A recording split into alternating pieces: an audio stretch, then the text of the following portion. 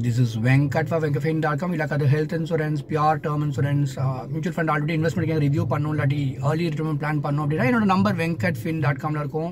இல்லாட்டி டிஸ்கிரிப்ஷன் இருக்கும். மெசேஜ் பண்ணுங்கள் எவ்வளோ கன்சல்ட்டிங் ஃபீன்னு கேளுங்க. அப்புறம் ப்ரொசீட் பண்ணுங்கள் thank you so much Tamil Nadu for understanding that இது பர்சனலாக பண்ணுற வீடியோ இது ஒரு சில பேர் நினைப்பாங்க ரேண்டமாக ரெண்டு அஞ்சு நிமிஷம் தான் நான் பேசுகிறோம் இதில் என்ன இருக்குன்னு சொல்லிட்டு பட் ஒருத்தட்ட நான் ஒரு மணி நேரம் பேசலாம் வெறும் அஞ்சு நிமிஷம் பேசலாம் பட் ஒரு சில கால்ஸோட இம்பேக்ட் வந்து எனக்கு லைஃப் டைம் இருக்கும்.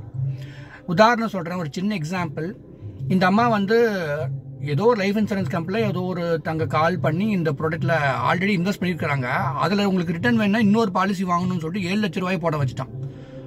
எனக்கு ரொம்ப டென்ஷன் ஆயிடுச்சு ஏமா இப்படிலாம் ஏமாறுறீங்க? அது கொஞ்சம் வசதி இல்லாதவங்க. எனக்கு இன்- அந்த அம்மாட்ட அஞ்சு நிமிஷம் கால் பண்ணிவிட்டு எனக்கு தெரிஞ்ச சொல்யூஷனை சொன்னேன் நான். நீங்கள் உடனே போய் அதை எனக்கு ஃபிஃப்டீன் டேஸ் கிரேஸ் பீரியட் இருக்குமா? ஃப்ரீ லுக் பீரியட் அதை கேன்சல் பண்ணி கொடுக்குங்க சொல்லிக்கோங்க அப்படின்னு சொன்னேன். இன்றைக்குமே நான் எந்த இட- நான் எந்த இடத்துல வச்சு அவங்ககிட்ட நான் அவங்க இந்த கால் எனக்கு வந்துச்சுன்னு எனக்கு ஞாபகம் இருக்கும். ஓகே இது விட்டுருங்க. இது சாதாரண விஷயம் தான் நான் நினைப்பேன். என்னென்னா வசதி இல்லாதவங்களும் இப்படி சீட் பண்ணுறாங்களேன்னு எனக்கு ஒரு வருத்தம் இருக்கும். இன்னொரு சைடு பார்த்தோன்னா when a women has lost her husband call பண்ணுவாங்க. இந்த பாலிசி கிளைம் கிடைக்குமான்ட்டு. கரண்ட்லி ஒரு ரெண்டு மூணு பேர் அந்த மாதிரி டெத்து கிளைமுக்கு நல்ல ஃபேமிலியான்னு நான் பார்ப்பேன். உண்மையாக இவங்க சைடு ஞாபகம் இருந்தால் மாத்திரம் நான் சர்வீஸாக அதை பண்ணுவேன். அப்புறம் இந்த இன்சூரன்ஸ் இண்டஸ்ட்ரியில் இருந்தீங்கன்னா அதுவும் யூடியூபையும் இன்சூரன்ஸையும் நீங்கள் மிக்ஸ் பண்ணுறதுனால என்னமோ உலகத்தில் எல்லாருக்குமே பிரச்சனை இருக்கிற மாதிரி தெரியும். இப்போ ஒரு ஹெல்த் இன்சூரன்ஸ் கன்சல்டிங் பண்ணுறாங்கன்னா ஹெல்த்தியாக இருக்கிறோம்பாங்க ஃபேமிலியில் எல்லாருமே ஹெல்த்தியாக இருப்பாங்க. அம்மா அப்பா கூட ஹெல்த்தியாக இருப்பாங்க. ஒரு டயபெட்டிஸ் பிபி கூட இருக்காது. அது வந்து எனக்கு பார்த்தீங்கன்னா ஸ்மூத் சைல் இந்த பிராண்டு இது இப்படி இருக்குது அதில் வாங்கினா இது என்னோட ஒப்பீனியன் அப்படின்னு சொல்லிட்டு போயிட்டே இருக்கலாம்.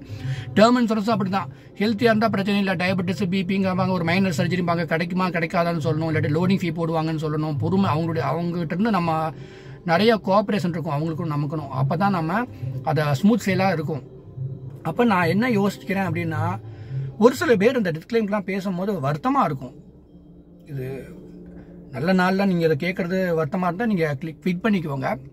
அதாவது எப்படின்னா my husband is no more my brother is no மோர்னு சொல்லும் போது ஒரு சில நேரம் ஒரு அஞ்சு நிமிஷம் பத்து நிமிஷம் தான் பேசியிருப்பேன் அவங்ககிட்ட. அதுக்கப்புறம் இப்படி மாதிரி காரில் வரும்போது நான் யோசிப்பேன்.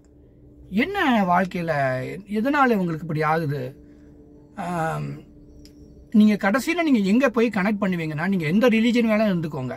கடைசியில் எங்கே கனெக்ட் பண்ணுறதுன்னா நம்ம குடும்பத்தில் எல்லாரும் நல்லா இருக்கணும். இப்போ நீங்கள் பார்க்குறீங்க என்ன? எல்லாருமே நல்லா இருக்கணும். எல்லாருமே நல்லா இருந்தால் தான் உலகத்தில் எக்கானமி நல்லாயிருக்கும் பிஸ்னஸ் நல்லாயிருக்கும் நானும் வாழ முடியும் நீங்களும் வாழ முடியும். எல்லாரும் ஃபேமிலியும் ஒரு மன நிம்மதி இருக்கணும். எல்லாரும் ஒரு நீண்ட ஆயுளோட ஆரோக்கியத்தோடு இருக்கணும்.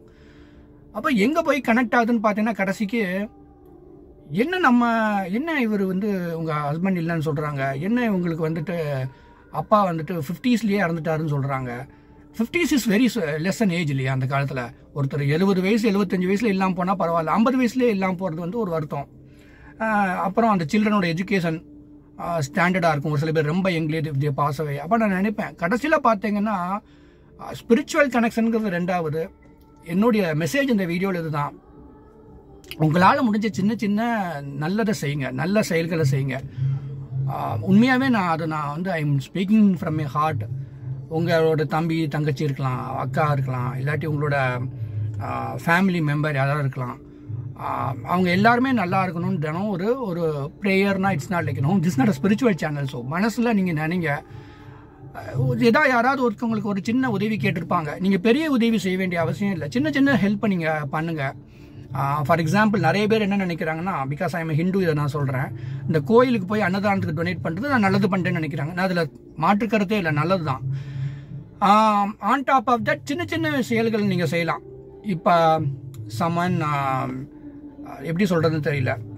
ஒரு சின்ன எக்ஸாம்பிள் சொல்கிறேன் அன்றைக்கி வந்து ஒரு ஸ்வீட் கடைக்கு போயிட்டு நான் வெளியில் வந்தேன். ஒருத்தர் ஒரு பேனா விற்கிறாரு நாற்பது ரூபாங்கிறாரு. எனக்கு நல்லாவே தெரியும் அது ஒர்த்து இல்லை நாற்பது ரூபாய்க்குன்ட்டு. அவர் கேட்குறது எனக்கு ஒரு மாதிரி இருந்துச்சு. காலையிலேருந்து யாருமே வாங்கலைங்கிறாரு. ஸோ ஐ தாட் ஓகே எனக்கு அது தேவையில்லும் இல்லை. பட் சும்மா ஏதோ அவர் அவர் ஏதோ விற்க ட்ரை பண்ணுறாரு சரி போ அப்படின்ட்டு நான் வாங்கினேன்.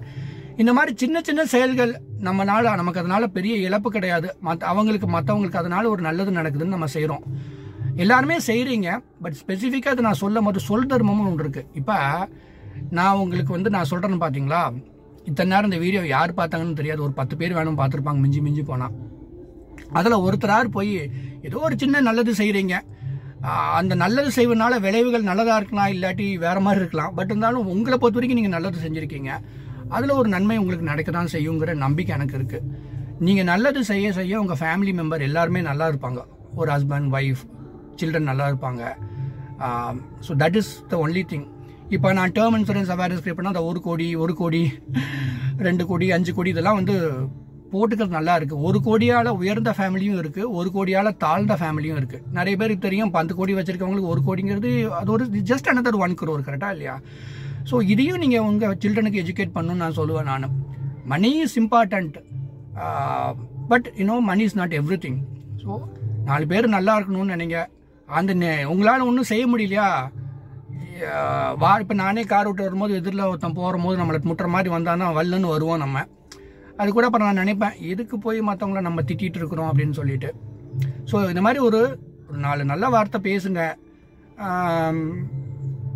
உங்களுக்கு வந்துட்டு எதுவும் செய்யறதுக்கு வசதி இல்லைன்னா அப்பப்போ உங்களால் முடிஞ்சப்போ ஒரு சின்ன சின்ன சின்ன சின்ன லிட்டில் குட் திங்ஸ் அது என்னன்னு நான் சொல்ல விரும்பல. பட் எதுவாக இருந்தாலும் நீங்கள் எந்த ரிஜிலே ரிலீஜனாக இருந்தாலும் ஒரு சின்ன சின்ன நல்ல செயல்களை நீங்கள் செய்யுங்க.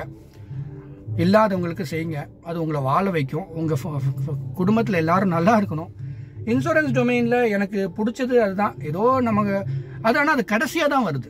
ஒருத்தருக்கு வந்து ஹெல்த் நல்லா இருந்தாலோ அவங்க நீண்ட ஆயிலோட இருந்தாலோ ஹெல்த் இன்சூரன்ஸும் தேவையில்லை டேர்ம் இன்சூரன்ஸும் தேவையில்லை. இல்லையா? இதெல்லாம் கடைசியாக வர மிட்டாய் தான். அதுக்கு முன்னாடி அவங்க நல்லா இருந்தாங்கன்னா இதெல்லாம் உபயோகப்படு உபயோகப்படுத்த போகிறதே கிடையாது. ஸோ அதுக்கான சொல்யூஷன் என்னென்னா I think it is in your action நல்லதை செய்யுங்க. உங்களுக்கு நல்லது நிறைய திரும்பி வந்து வரட்டும். என்னோட வீடியோலாம் யாரும் பெருசாக பார்க்கறதில்ல. பட் மனசார இதை சொல்லணும்னு தோணுச்சு நான் சொல்கிறேன் தேங்க்யூ ஸோ மச் நல்லா இருங்க. Good luck to you